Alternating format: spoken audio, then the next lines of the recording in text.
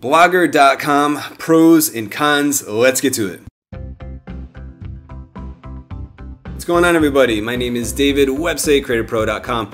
So I personally make my living from managing two large WordPress websites. Uh, I definitely recommend WordPress over Blogger if your goal is to build a large income generating web property, an asset that you completely own yourself definitely use WordPress because it just provides better SEO, has more various plugins, you have more control over the design, etc. But Blogger is really good if you're just wanting to start some type of like personal project and you're okay with it just being this side thing, a small income source. You're not trying to like, you know, change the world and build this big income generating web property. You're, you're okay with creating something that's like, okay, cool. It makes like a few hundred dollars, gets a little bit of attention, uh, etc. And so what are some pros and cons of Blogger? So I've been using it Blogger for the last month or so for edgeofdavid.com.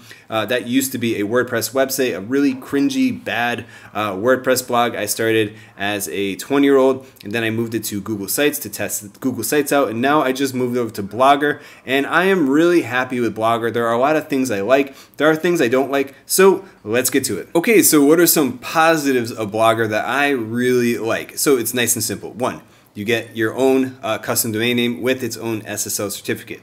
Two, you get completely free web hosting. And then three, you can actually create content that ranks, which I think is great because you have enough control over the on-page SEO in terms of the title tags and meta description uh, and just overall structure of the blog post. So it actually has a chance of you actually getting free search engine traffic. The only reason I bring that up is because like when I compared it to Google Sites, Google Sites, like you can build a beautiful website, but then like the on-page SEO is terrible, and like it's never actually going to rank. Where a blogger doesn't have that same issue. You have a complete control over the on-page SEO, and so basically you end up being able to create a basically simple blog that can actually rank, get traffic, is secure, has its own custom domain name, and you're not paying for anything. You're not paying for hosting, so you can end up creating like an, this online thing that could potentially get like a thousand visitors a day, make money, and it's great. And so that's why I like Blogger because edgeofdavid.com for me personally was like just a cringy WordPress blog I started uh, actually 10 years ago, believe it or not.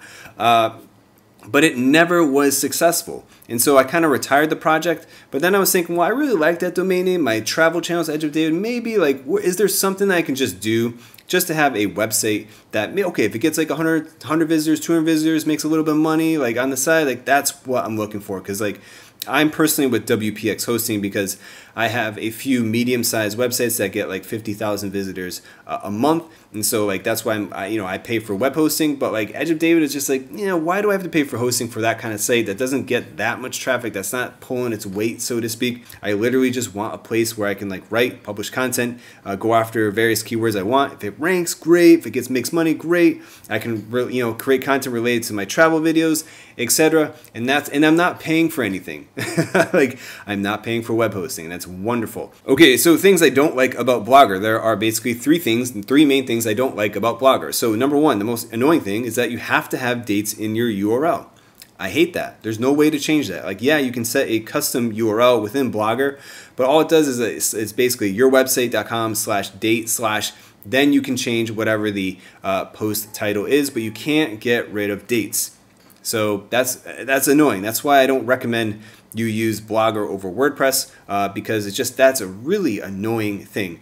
And then next, the design is a bit cumbersome, and you, there's a lot of like built-in design restrictions that I find really, really annoying. For example, like the footer. Like the footer is the spot where I want to put like privacy policy, terms of use, disclosure, maybe the Amazon uh, disclaimer, etc. That should go in the footer. But with Blogger, the way it's built uh, natively is that basically it restricts you from editing the footer. And then you have to basically jump into the HTML. Then you have to find the section where it says footer, and then you basically have to unlock it. And that, that is basically it. And like once you unlock it, then you can start adding in gadgets like uh, HTML gadgets, for example, and then you can add in text and add it to the footer or add social media buttons to the footer, etc. I don't know why they make it so difficult to edit the footer. And then and just other little aspects like that, like adding a header, for example, is a headache. Like adding a, your own logo, like the like Blogger, depending on the theme you're using, sometimes will blow your logo out. Like if you're uploading a 200 by 200 pixel image, you think it's going to be 200 by 200 pixels on your site, and then it blows it up to like 300 by 300. And it's like, why is it doing this? Then you have to go through this trial and error of trying different sizes.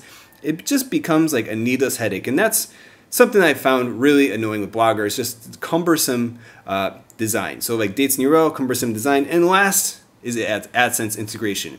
And so I love that you can run ads on your Blogger blog because with Google Sites, you're not allowed to basically run ads on your Google Sites. But Blogger, they have their own integration. But the con, this is a con because how do you get your site verified for AdSense? What is like when I click on it, it says like my my website's not ready to be monetized with AdSense. It's like, well, okay, what do I have to do to get it ready? How do I qualify for AdSense with that site? I don't know. There's no communication. There's nothing that says says specifically like your site must be doing this, this, this, and this. Like with YouTube, YouTube's great because YouTube's clear. Okay, you need 4,000 hours of watch time, you need a thousand subscribers. But with Blogger, it's like I don't know. Whenever the blogger gods decide to bless your site, and then okay, you can run ads now, David. You're ding. like what's the difference? I, I, don't get it, and so I don't understand why that communication is not clear. And some of you may be thinking, well, can't you just add AdSense ads to your site itself? And I was like, I actually tried that because I have an AdSense account edgeofdavid.com, the domain name is approved to run AdSense ads. It's just because it's now a blogger site, uh, you know, it doesn't work. And so like I've actually taken AdSense code and put it on Blogger and it doesn't work. It just doesn't work. You got to wait until the AdSense gods or the blogger gods, whatever, uh, decide that your site now qualifies for AdSense. All right, everybody, that is it for this video on the pros and cons of blogger.com. Uh, overall, I really like Blogger. I think it's an ideal solution if you just are like you're a YouTuber or whatever, you just want to have like your own little personal site to write about whatever you want, or maybe you're someone who kind of understands SEO and design everything, and then you just want to have a personal site so that maybe just gets a little bit of traffic, makes a little bit of money, etc. Blogger is fantastic because of free hosting, custom domain name, SSL certificate with your site, uh, ease of use with creating content, all those little things. Uh, Blogger does a great job. Uh, it's again, it's not ideal if you want to build a large income generating uh, website that's your own asset that you can sell, etc. Blogger is more ideal if you if you just want to create more of a personal site, uh, but you want to create like you just want to get, but you also want traffic because like compared to like a Google site can't really get traffic with Google Sites because the on-page SEO is really bad, whereas Blogger, it's really good. Anyways, guys, I'm starting to ramble, so I'll leave it there. Thank you very much for watching. My name is David, websitecreativepro.com. See you next video. Bye-bye.